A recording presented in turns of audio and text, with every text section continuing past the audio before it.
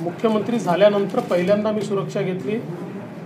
मी प्रदेशाध्यक्ष होतो तरी साधा एक गार्ड देखील मी ठेवला नव्हता. मुख्यमंत्री झाल्यानंतर जे काही थ्रेट परसेप्शन होतं त्याच्या आधारावर मला सुरक्षा देण्यात आली होती. याकूब मेमनच्या फाशीनंतर आणि नक्षलवादी कारवायांनंतर सेंट्रल गव्हर्नमेंटने काही इनपुट्स दिले होते. त्यानुसार माझी सुरक्षाही वाढवण्यात आली होती.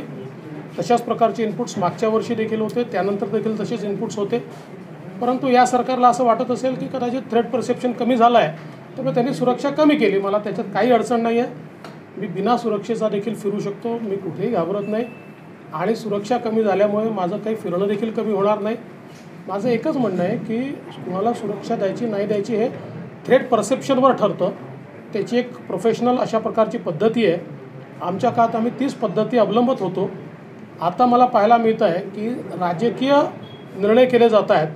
अनेक लोक असे आहेत की ज्यांना कुठली थ्रेट नाही. त्यांना मोठ्या प्रमाणात सुरक्षा दिली जाते. थ्रेट परसेप्शनचा विचार केला जात नाही. पण माझी याच्यावर कुठलीही तक्रार नाही. मला कुठलीही त्या संदर्भात चिंता नाही. मी जनतेचा माणूस आहे. जनतेत राहून काम करणारा माणूस आहे. त्यामुळे माझ्या फिरण्यावर याचा कुठलाही परिणाम होणार नाही.